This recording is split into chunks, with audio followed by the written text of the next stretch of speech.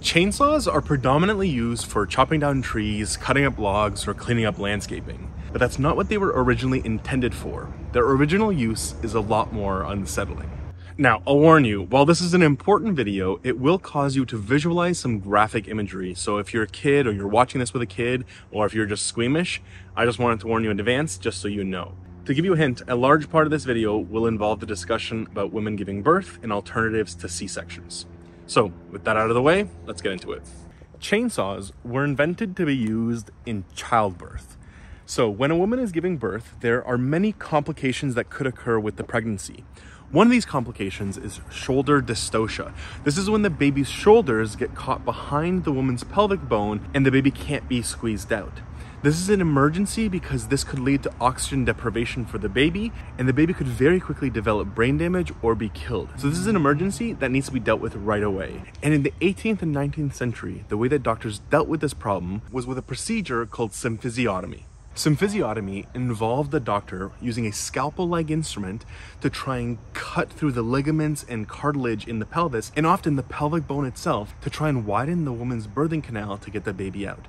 As you can imagine, this was a very challenging procedure for doctors and also a painful experience for the woman. Symphysiotomy was originally conceived as an alternative to the cesarean section because at the time, C-sections were dangerous and painful because they didn't have effective anesthesia and the procedure was potentially fatal due to post-surgical complications like infection. So doctors conceived the process of symphysiotomy as an alternative to that, a potential healthier, more efficient alternative to that.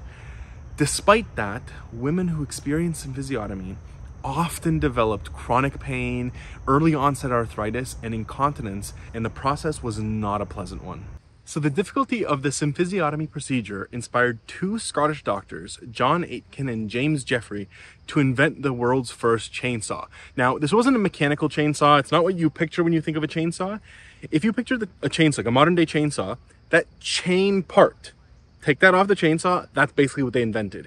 It was a chain of, of metal teeth attached to two teardrop handles and doctors would have to take off one of the handles, put a needle on, thread it behind the woman's pelvis, reattach the handle, and then saw through the woman's pelvis to open it to get the baby out. That was the world's first chainsaw. This chainsaw later inspired Leonardo Gigli to make his own version of the Aitken and Jeffray chainsaw. His was very similar. It just had a much thinner blade and T-shaped handles. This made it a lot more precise and when symphysiotomy was outdated and stopped being practiced, the Gigli saw began to be used for amputations. And in fact, even in today's world where surgeons will use power tools, they will sometimes use the Gigli saw when they need very precise control over what they're cutting. I have no idea if I'm saying Gigli correctly. Let me know in the comments. So Aitken and Jeffray invented their chainsaw in the 1780s, but doctors found it challenging to use and the chainsaw didn't really take off spectacularly in the medical world until Bernhard Heine in 1830 invented his version of the chainsaw, the osteotome. Basically, he took a chainsaw, a chain of, of metal teeth, and attached it to some gears in a hand crank and he made it much smaller and handheld and this invention was extremely popular. Despite being challenging to use, Heine himself being one of the only people to actually master using the, the tool, the osteotome was a hit and Heine himself became a bit of a minor celebrity. He won an award in France, he was invited to Russia to demonstrate his invention and despite the osteotome being extremely expensive, costing around $30,000 in today's money compared to conventional saws, which would have cost $500 in today's money.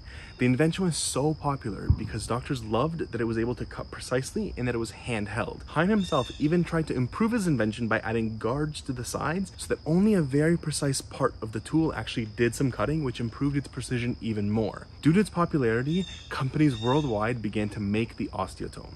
The osteotome was so successful that it inspired modern day chainsaws. When Samuel J. Bens saw the osteotome in 1905, he immediately invented a machine based on the osteotome that was able to cut down giant redwood trees. Now, this isn't very similar to modern day chainsaws because it was massive and required multiple people to use it, but it was the first mechanized chainsaw designed to cut down trees. The first portable chainsaw was invented by Canadian James Shand in 1918, and the first electrical and gas-powered chainsaws were invented by Andreas Stihl in the 1920s, but still they needed two people to operate it. A single person operated chainsaw wouldn't be invented for decades later.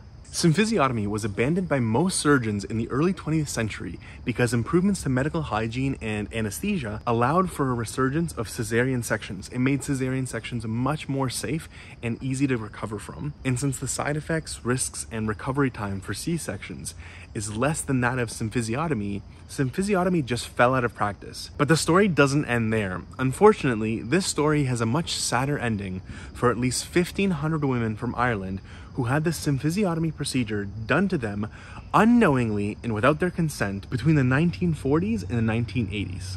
So during that time, if there was a complication during childbirth, like shoulder dystocia, surgeons would elect to perform symphysiotomy without consent from the woman and without even telling her what they were about to do.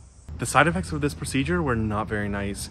There was months and months of recovery time, and when the woman recovered, she would have chronic pain, early onset arthritis, difficulty walking, and constant incontinence. And one of the women who was subjected to this treatment, Rita McCann, spoke up and talked about how for six months after the procedure, she was unable to walk. She would crawl around. She was she had a newborn baby and she would crawl around with that baby.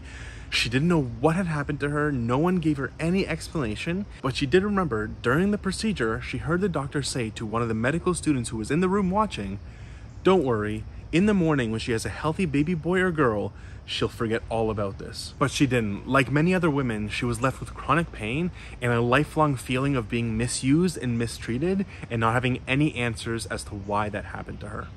So to this day, there's no explanation given as to why the doctors performed these procedures without consent and why they performed symphysiotomies instead of C-sections at a time that C-sections were safe and being done all over the world. Some critics suggested it had to do with Ireland's very Catholic religious beliefs and society's general disregard for women's bodily autonomy.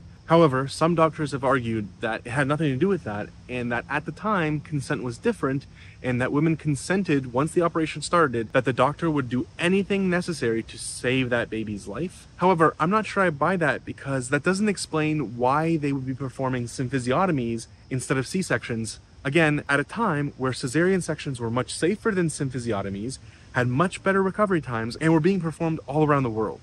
Now, thanks to campaigning and protesting from survivors of symphysiotomy and influence from the UN Human Rights Committee, the Irish government has offered to give payouts of 40,000 euros to 140,000 euros to these women, but without an explanation, many of them still feel unsatisfied. As Rita McCann said, I just want an apology and an explanation.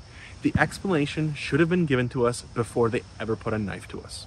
Alright, that's it for this video. Thank you so much for watching. I had not intended to make this video. I had originally intended to just make a quick video about the origin of the chainsaw and how it started in medicine rather than in the lumber industry. But the more I learned about symphysiotomy and the women who were exposed to it in Ireland against their will, I just had to make a longer video about this whole thing. Alright, I hope you liked the video. If you did, please subscribe, like the video, share it with your friends. Let me know in the comments. But for now, I'll see you in the next one. And if you want to watch another video, click one of these videos around here somewhere and I'll see you in the next one. Stay curious. Bye.